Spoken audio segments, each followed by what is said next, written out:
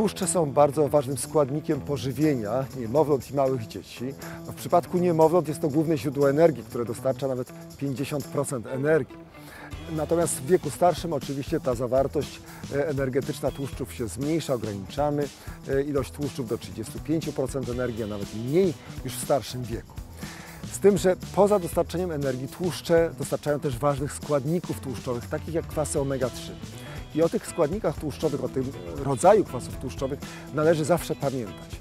Dlatego, że nie każdy tłuszcz jest bogaty w kwasy omega-3, a wiemy, że niektóre oleje roślinne zawierają więcej kwasów tłuszczowych omega-3 niż pozostałe, na przykład olej rzepakowy jest takim dobrym źródłem kwasów omega-3, bo zawiera 10 razy więcej tych kwasów niż oliwa z oliwek.